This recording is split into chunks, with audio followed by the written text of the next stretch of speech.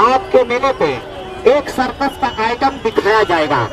ना ही कोई जादू मंत्र का खेल होगा, ना ही कोई नजरबंद का खेल होगा। ये होगा मेरे साहब लोग मातार बहनों, एक बैलेंस का खेल होगा और एक प्रेस्टिक का खेल होगा।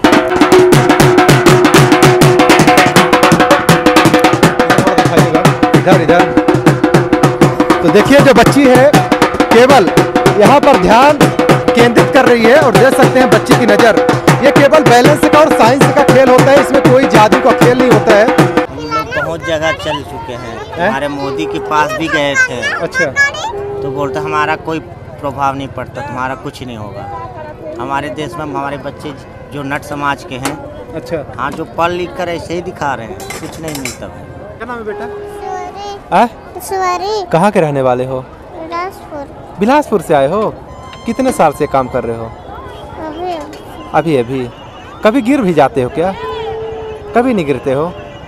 ये कैसे बैलेंस बनाते हो अपना? अगर बाँस ना दिया जाए तो फिर ना कर पाओगे ना? तो जब गिरते हो कभी मान लो तो फिर कौन थे- पकड़ता है? पापा। हाँ? पापा भैया। चलो ठीक है। गुड बहुत बढ़िया। अच्छा काम कर रहे हो। पढ़ाई भी करते हो? कौन सी क्लास में पढ़ते हो? दूसरी हैं? दूसरे क्लास में? तो सर इनकी पढ़ाई तो अभी यहाँ चल रही है जो यहाँ चल रहा है। तो ये बच्ची पढ़ेगी कब? ये हम लोग ना नवरात्रि के बाद बाहर नहीं निकल आते हैं ठंड ठंड के मौसम। गर्मी तो बरसात ठंड घर में तो ठंड के मौसम में ये बच्चियाँ नहीं पढ़ पाती हैं? ना। बस जैसे पाँच महीना घूमते हैं। तो ये बताइए सर ऐसी बच्चियों को अधिकारी बनाना और ये सब चीज़ें इस पर कभी फोकस नहीं जाता? क्यों?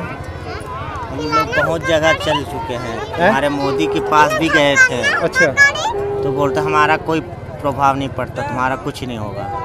हमारे देश में हमारे बच्चे जो नट समाज के हैं अच्छा। हाँ जो पढ़ लिख कर ऐसे ही दिखा रहे हैं कुछ नहीं मिलता। भाई अच्छा ये रीवा आए थे रीवा रीवा एक बार जो नट का विधायक नट का विधायक था एक बार। अभी मैं हूँ सीधी में।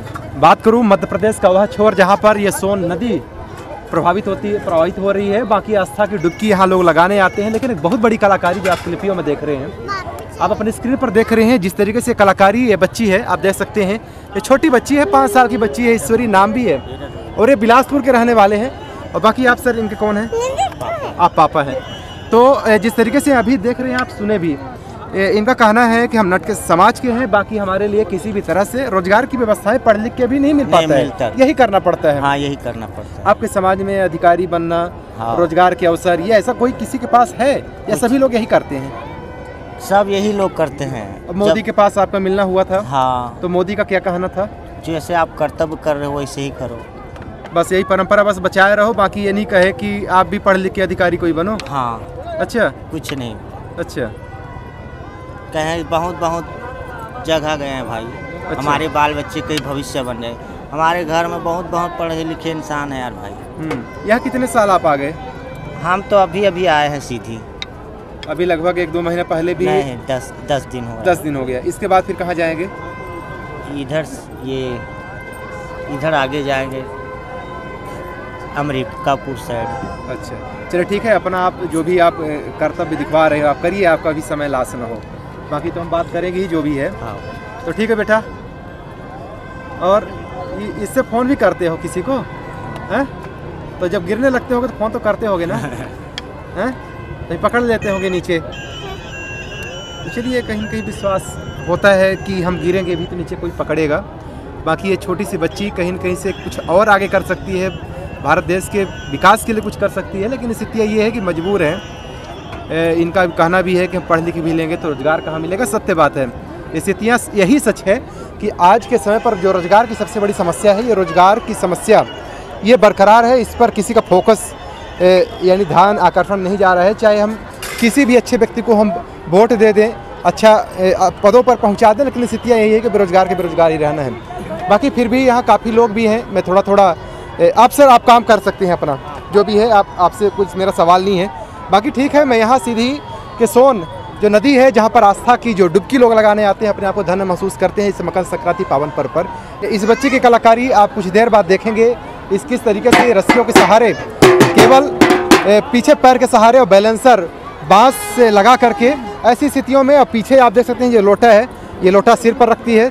आप देख सकते हैं सामने और बाकी और कई कलाकारियों के यहाँ पर सिस्टम रखे गए हैं। बेटा, आप भी कलाकारी करते हो? आप भी करते हो? कौन सी कलाकारी करते हो? रस्सी में आप भी चल लेते हो? और क्या? ये जो चूड़ा है इसके लिए छल्ला है जो? छल्ला भी कर लेते हो? पढ़ते भी हो क्या? कब पढ़ते हो? काखा खा बनता है? ए बी सी डी कहाँ तक? बताया। पढ़ी ने बताया। गिनती बनती है। गिनती भी बनती है। ये कितनी उंगलियाँ है? कितनी उंगलियाँ है? बताओ। कितनी उंगलियाँ है? नहीं पता है कोई बात नहीं। देखिए इन बच्चों को बचपन में ही कहीं कहीं से मजबूर भी है और कलाकारी भी दिखाने के चक्कर में इनका जो शिक्षा स्तर है कहीं कहीं से लगातार डाउन हो रहा है और पहले से ही डाउन था। शिक्षा स्तर में कोई सुधार विशेष ऐसे क्षेत्रों में अगर देखा जाए तो कहीं बहुत कम देखने को मिलता है। बाकी देखिए वो बच्ची उधर बड़े प्यार से देखिए चढ़ गई है। और बैलेंसर के सहारे एक थाली के ऊपर घुटना रखेगी, इसके बाद आराम से इधर तक आएगी। आप देखिए इसका लुत्फ किस तरीके से है। आप भी उठा सकते हैं यहाँ सीधी सोन नदी के पास से। आपके मेले पे एक सर्कस का आइटम दिखाया जाएगा। ना ही कोई जादू मंत्र का खेल होगा, ना ही कोई नजरबंद का खेल होगा। ये होगा मेरे साहब लोग, मातार बहनों। एक बैलेंस का खेल होगा और एक प्रेस्टिक का खेल होगा। ऐसा खेल, ऐसी कलाकारी आपके मेले पे पहली बार आ चुका है। बार बार नहीं आएगा कि देखिए देखोगे तो खुश हो जाओगे मेरे साथ लोग, मातार बहनों। अगर ना देखोगे तो पछताओगे जी तो चले आइएगा चले आइएगा।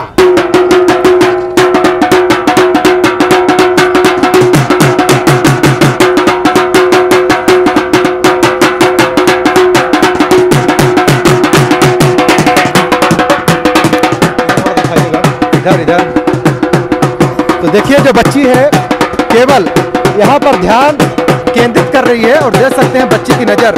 ये केवल बैलेंस का और साइंस का खेल होता है, इसमें कोई जादू का खेल नहीं होता है। और केवल बैलेंस, इसके सहारे चलती है बच्ची और इसके बाद ही पूरा जो रस्सी है, पूरा पार कर जाती है। बाकी देखिए, आप भी लुत्फ उठा सकते हैं।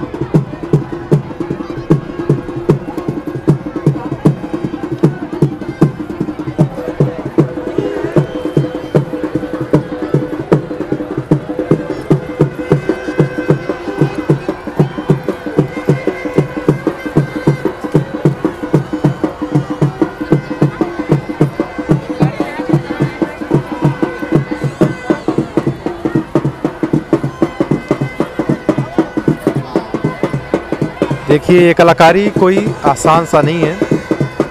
और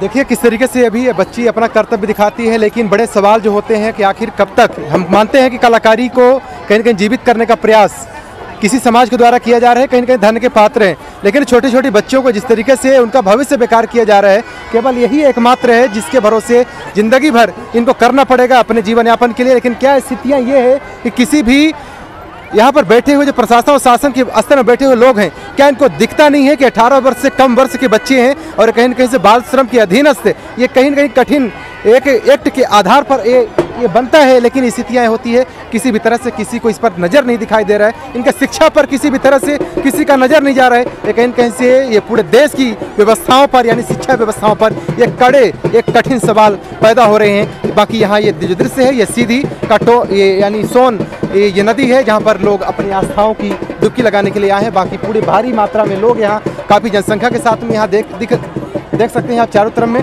बाकी जो पानी का स्तर है पानी का स्तर इस बार पिछले वर्ष की अपेक्षा डाउन है क्योंकि पानी छोड़ा नहीं गया है सुरक्षा के लिहाज से। इन तस्वीरों पर आप क्या सोचते हैं, देख सकते हैं जो लोटे के सहारे में, किस तरीके से ये कठिन से कठिन कार्य छोटी बच्ची करती है। हालाँकि ये बड़े लोग के बस का है भी नहीं, ये छोटे बच्चे ही इसका बैलेंसर चला सकते हैं। बाकी चलिए, इन तस्वीरों को लेकर के आप क्या समझते हैं आप कमेंट कर बताने भूलेंगे चलिए, इसी के साथ देकर टीवी, मैं सवाल, जय हिंद।